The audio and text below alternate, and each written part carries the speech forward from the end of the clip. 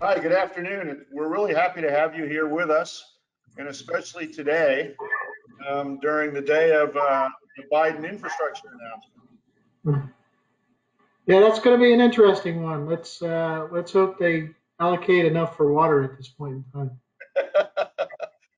so you run the information technology department at DC Water. Can you just give us a sense of what you do and, and what kind of improvements you're seeing based on uh, the application of technology to the water mm-hmm. business? Yep. So we um, so our our group is about 60 uh, full-time folks, um, complemented with you know outside contractors depending on the systems that we are implementing or or building. Uh, we do buy a lot of software, uh, but we also build some specialty products and services that uh, aren't available in the marketplace. Um, uh, we have about uh, almost 1,200 employees that we service, and probably another uh, seven to 800 contractors uh, use our systems. And we have everything from basic customer billing systems, accounting systems, payroll, personnel, to you know more complex uh, SCADA and process control systems that operate our uh, distribution conveyance and plant operation stuff. Now that's fantastic. But you also wear another hat. You, are the president of Blue Drop. What is Blue Drop, and uh, what's the value you provide as a business? I was, you know, fascinated by the the um, uh, description in your website where you talk mm-hmm. about pipe pipe sleuth as one of the AI applications for your business.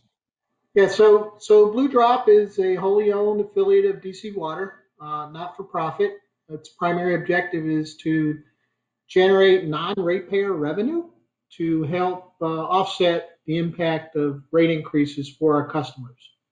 Uh, we've got a fairly fairly eclectic uh, set of products and services we sell. Um, plant process IP, software IP that we sell. Uh, we lease cell tower space uh, on our facilities. Uh, we also sell our, our Bloom product, which is our our biggest product line right now, which is our Class A biosolids, which is used as either a soil amendment or um, a fertilizer. But uh, our pipe product is a uh, product that came out of our operations area that it uses artificial intelligence and machine learning. Uh, I like to tell people it's facial recognition for sewer pipes. Uh, what it does is it takes a video uh, stream from a sewer scan and it does detection and classification of defects and anomalies in the pipe and scores the pipe um, based on what it's found. So uh, it, it actually replaces a, a highly manual, labor intensive, often error prone process uh, using technology. And, you know, we built it um, for two reasons. One was to reduce the cost and increase the amount of assessments we could do we were only assessing about 1% of our pipe a year. We have about 1,900 miles of uh, sewer and stormwater infrastructure in place, so we were only doing about 19 miles a year. Uh, we wanted to increase that, and we wanted to make better decisions around where we would invest uh, infrastructure dollars to do repair and replacement activities and or uh, do preventive maintenance in, to extend the overall life of the pipe. So that's pretty interesting. And so, uh, do you have any figures yet going from 19 miles to how much are you going to do this year? How much do you plan to do this year? So, so our current plan right now is 50 miles. Okay. Uh, so, so almost a little bit over double what we were doing in the past. Our goal, long-term goal, is to do about 100 miles a year, uh, using a combination of of uh, new scanning technology in conjunction with our pipe sleuth product. Yeah, that's fantastic. Um, in terms of advanced technologies, I'm, I'm really interested in this conversation because water utilities are uh, being transformed pretty fast. So I'm trying to get a sense of, in terms of advanced technologies like AI, machine learning, they, are they beginning to have a sizable impact on uh, the way you all operate your business and the efficiency? I mean, it sounds like sounds like they are. Have an example. Yeah, well, I think they have tremendous potential uh, as, as a technology not only to uh, improve decision making, but also reduce the cost of the operation as well. So, um, you know, we, we have uh, AI and machine learning capabilities built into our Pipe Sleuth product, but we have other products that we're working on now, uh, uh, which incorporate machine learning and AI, but also are predictive in nature. So we're looking to predict uh, potential water main breaks so that we can do uh, preemptive repairs or inspections uh, in in an effort to eliminate that break. And that has two direct benefits. Number one, um, it avoids service interruption, uh, but it also is a lower cost approach to uh, improving the reliability of the system. Um, we're looking at additional techniques um, using imagery similar to the pipe sleuth to uh, potentially identify uh, stream bed erosion uh, in the stream beds. A lot of our sewer pipes run along stream beds because they're typically uh, gravity type systems. So we want to um, see if we can use uh, AI or, or image, image technology to identify stream beds that are eroding. So we can go out and uh, prevent that before it undermines our pipe and causes a failure, which would then subsequently cause an overflow into the sewer. Um, and then eventually uh, in the whole customer service space. So being able to be more uh, proactive in managing customer service type uh, issues uh, by using data and analytics um, in in the customer service field. We have a product called um, HUNA, which is our high usage notification alert system. So we take uh, our meter reading system, our AMI system, which is installed on all our meters in in the district. We read uh, 135,000 meters uh, four times a day on average, uh, and we analyze that data and we look for usage anomalies uh, at the account level, and we notify customers either by phone, text, or email about high usage conditions relative to their historical usage pattern but we also can detect, detect continuous usage over a period, over a number of hours so that we can uh, help people identify potential leaks in their property so they can take repair, uh, preventive uh, action to, to, or proactive action to go out and uh, identify where a potential problem might be. That's really interesting. You know, we do a lot of work overseas and you know, one of the big uh, issues is unaccounted for water. And what's Mhm. interesting about unaccounted for water is that nobody really knows what it is.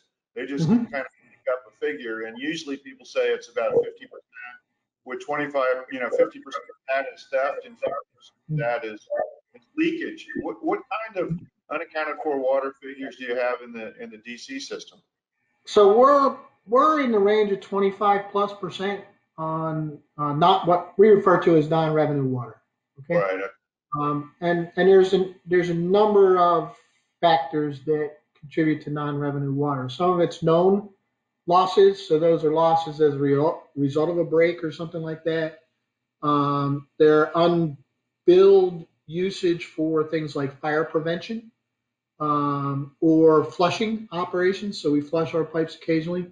Um, so you start with you start with the gross volume of, of unaccounted for. You take out the knowns and then we're using technology to try and identify where there may be uh, what I'll refer to as unmetered water.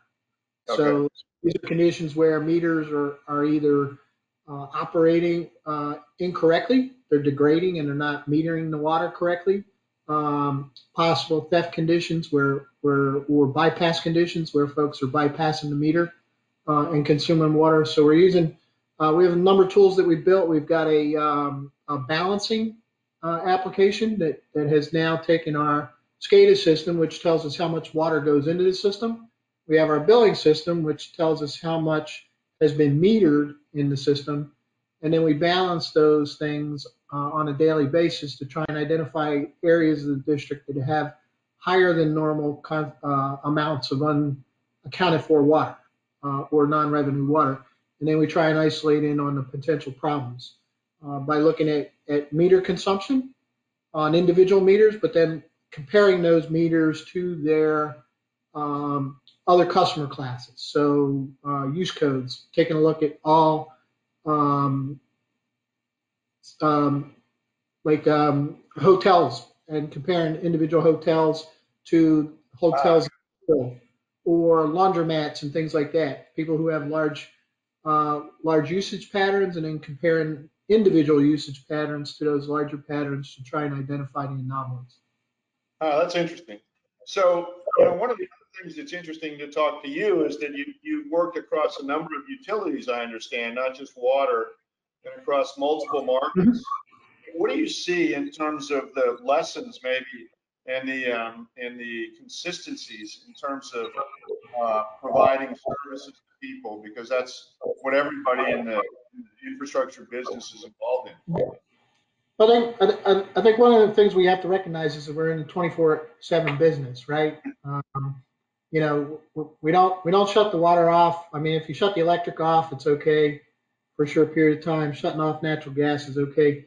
Uh, water is the only utility in, that you can't occupy a facility for if you don't have water in that facility, uh, and sewer services. So, so, you know, the, the responsibility level increases exponentially as you go, as you move through uh, the different types of utilities. Um, You know, that said, electric has traditionally been more advanced from a technology perspective and the application of technology, uh, partly because of the contiguous nature of their systems. So, you know, you've got these large, wide systems with multiple players, but all operating uh, collectively to supply large regions of the country. And that, that, that really forced them to, to use technology to answer those questions. Uh, water is, re, on, is on the other side of that spectrum. There's many, many small utilities. There's about 55,000 water utilities in the U.S. Um, and they all operate primarily independently. Many of them are owned by cities and things like that. So, so the application of technology hasn't always been as rapid in water. Uh, But I think across the, uh, across the spectrum, I think you know what we, we have to realize is that we got, we had an operational requirement for 24/7, but we also now have a customer service requirement 24/7. And I don't think a lot of utilities have evolved to that level yet. Um, and and the delivery mechanism for those services are dramatically different than they used to be in the past as well. While we have to continue to provide phone services to customers, many many more customers want mobile uh, services. They want phone-based services or or iPad-based services, even more so than web-based services. So so being able to adapt to changing customer needs is important but I think also creating a, a level of transparency with the public is also important for utilities. Because um, one of the biggest challenges, really, for all utilities in, in, in, the country and infrastructure as a whole, you mentioned the Biden plan, uh, is really the investment that's required to uh, upgrade a lot of these systems. And we have some pipe in, in, in the ground that's 100 years old. Mm-hmm. Uh, and those things need to be addressed. And and you know, like I said, we have 1,900 miles of uh, stormwater and sewer pipe. We have 1,300 miles of, of distribution pipe for uh, fresh water, but we're not the only one like that in the country, and those are going to be require huge investments. But uh, and some of that investment is going to have to come from the ratepayer. Uh, it certainly all can't come from the ratepayer, but being able to communicate with the ratepayer where those investments are needed and why they're needed, and explain to them the value that's being generated from those investments is extremely important.